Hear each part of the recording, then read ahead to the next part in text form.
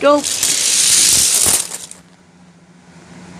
Uh, from that here, it looked like um the silver one probably won that race, but the slow mo.